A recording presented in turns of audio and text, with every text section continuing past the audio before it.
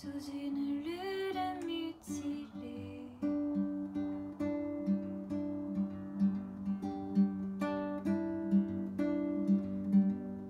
Belle amie, j'ai allumé les chandelles blanches, j'ai touché.